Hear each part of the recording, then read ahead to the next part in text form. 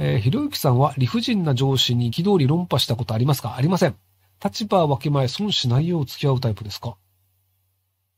まあ、そもそも会社で論破的なことをすることがほぼないのと、あと、あの、理不尽だとしても、あ、そういう判断をしたんですねっていうので、割と僕は従いますね。なので、あ、この人間違えてんなって思ったとしても、まあ、権限を持ってる人がそれを決めた以上はそういうものだよねって思うので、別に争ったりしないですね。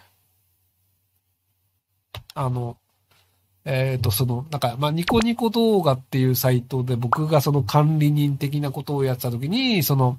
割とその、あの、ユーザーが作り上げてきたものより、あの、芸能人をブッキングしてやるような生放送番組みたいなのが多くて、で、それに割と苦言を呈したりはしてたんですけど、でも別に通らなかったとしても、まあ、それは上の人がそう判断してるので、間違えてると思うけど、ただ、その、自分の考えが100%正しいかどうかって、あの、確証はないんですよ。きっと僕は、その芸能人を使い続けるより、一般のユーザーの人気者を増やした方がうまくいくと僕は思っています。でも、それが間違ってる可能性もあるので、なので、他人の金でそれの確認ができるんですよね。